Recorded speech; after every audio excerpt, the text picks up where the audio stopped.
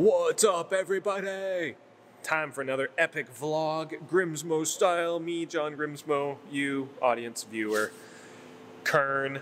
Okay, so I got a little bit of prep, I got a little bit of pre stuff I gotta do.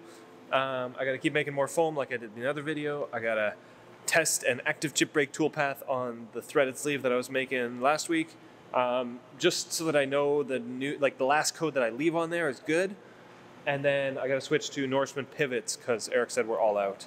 Um, so I got to make Norseman pivots today, which shouldn't be that hard. Basically, I don't think I'm changing. I'm putting in like one tool and then testing the code and dialing in tolerances. So that won't be that hard. And uh, da da da da. And then Kern, Kern, Kern, Kern, Kern, Kern. I got some cool stuff to make today.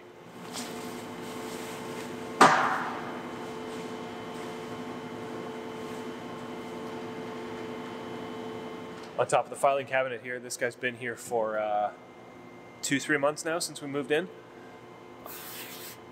I mean, it's, it's a little dirty, for sure.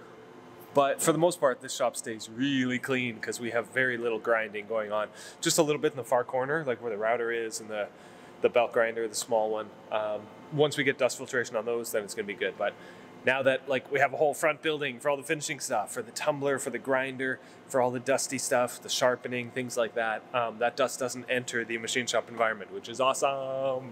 You know what they say? Happy birthday two times. Happy birthday to you. Happy birthday to you. Happy birthday, dear Leify. I always use my son's name, Leif. Happy birthday to you. Happy birthday to you. Fun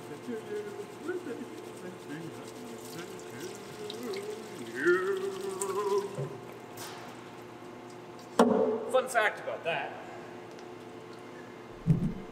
I saw a quick video by uh, the actor Terry Crews, and uh, he was saying, be unembarrassable. Meaning, don't worry about being embarrassed by stuff. And I've grown up my whole life being worried about being embarrassed by stuff. But I heard this just the other day and I was like, what a good perspective of not being afraid of being embarrassed, singing happy birthday out loud like a goofball. I mean, being a dad and being Mr. Goofball Pants has certainly helped um, extend my goofiness, but I like that. Be unembarrassable.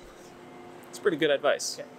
Mori is doing a spindle warm up right now because I know that program doing the foam cranks it right up to 12,000 RPM. So I want to, the spindle warm up goes like, I don't know, 2,000 RPM, 4,000 RPM for like a minute or two each, 6,000 RPM, 8, uh, all the way to 12. Um, so that gets the spindle all nice and juicy and makes it nice. Um, okay, let's turn on the Tornos, test out that new code.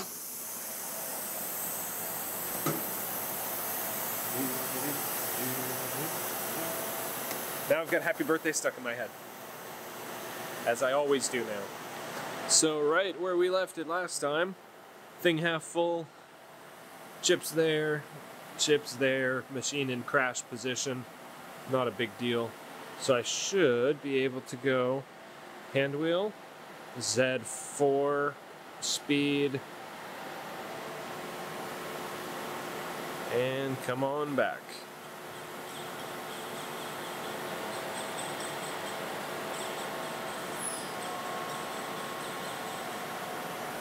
Oh, mama, this is not good. It's not terrible, but it's not good. Ugh. So on this machine, you may wonder, where do all the chips go?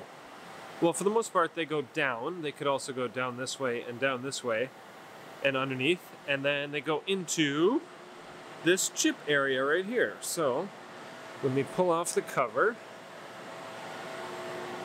Oh, On side note, I don't think I have shown properly the stainless steel drip tray that we had custom fabricated. So good. Oh my goodness. The machine needs to come with this. And it is actually an option that nobody told me about.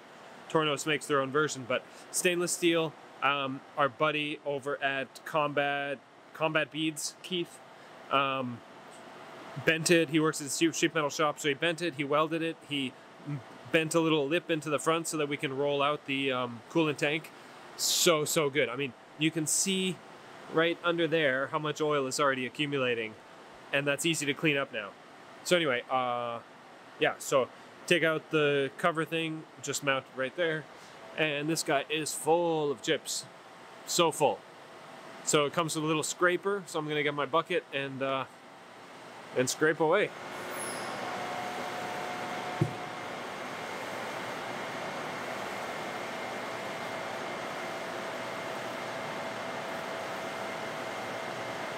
All right, all right, all right. Got the Tornos running more threaded sleeves.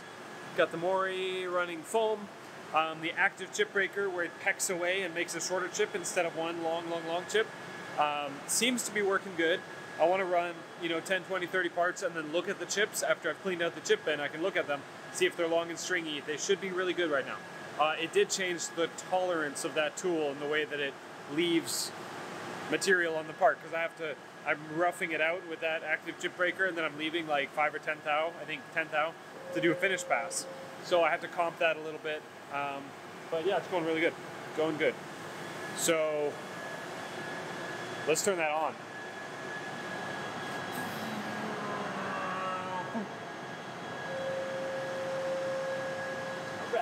Listen to that 42,000 RPM during spindle warm up. Uh, it sounds like an angry bumblebee. 42,000.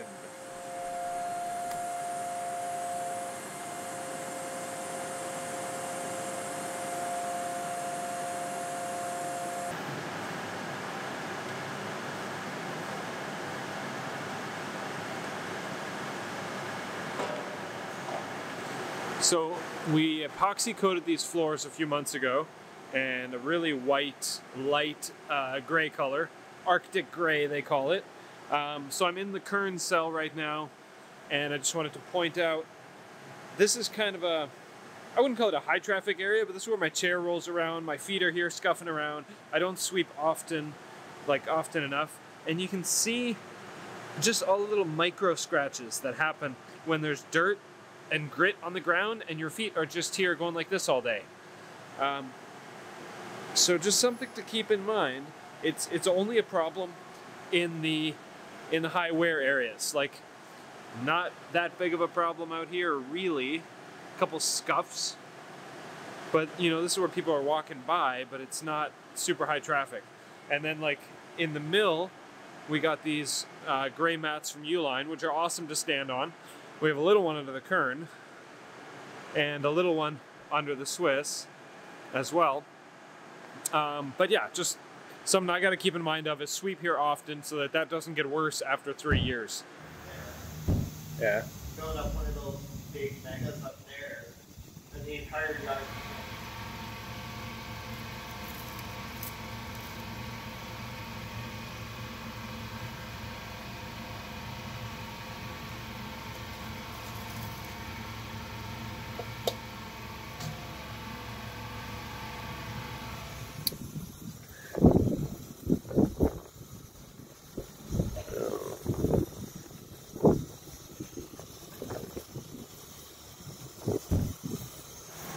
Take a quick zip out to Praxair to get some liquid nitrogen for our heat treating setup.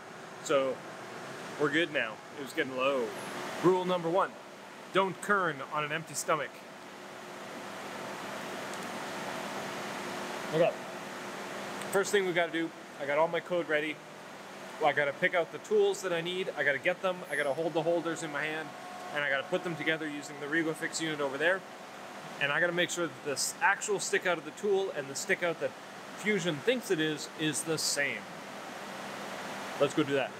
Well, I've been up to all kinds of stuff in the past probably five hours that I haven't filmed anything.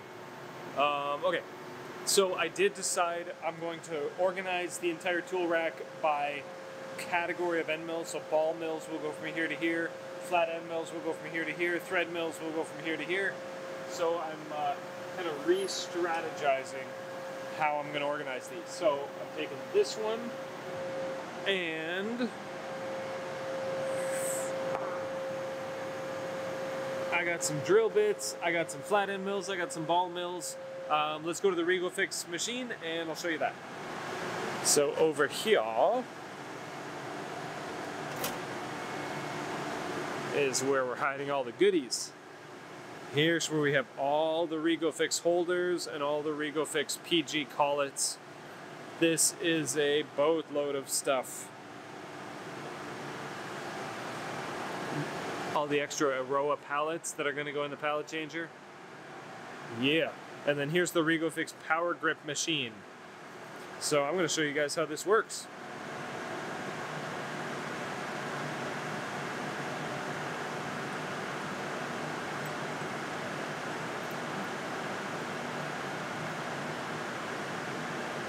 Already, so I went through Fusion and I made myself a list of every tool number, what it is, um, what the stick out is going to be. So for example, this is your stick out. This is from the, call it face, the nut face to the end of the tool. And in this case, it is roughly uh, 1.806 inches.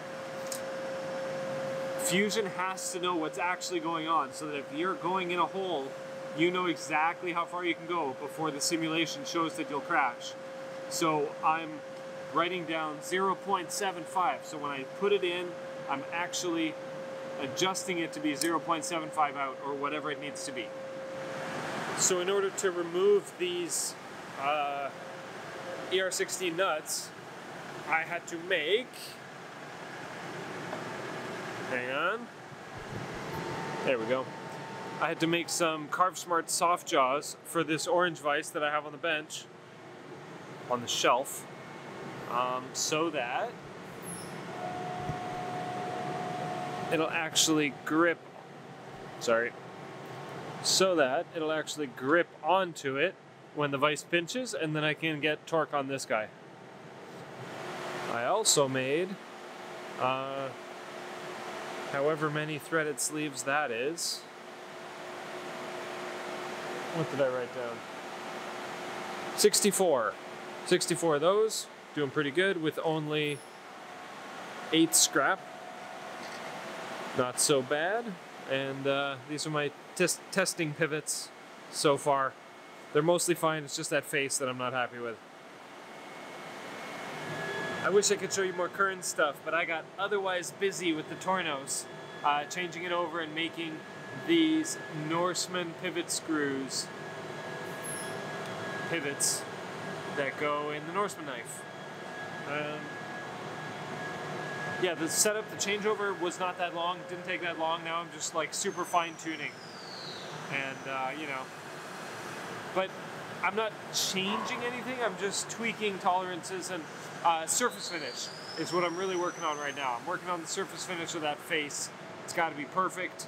Um, let me show you actually. Show you what it's like when it's not perfect.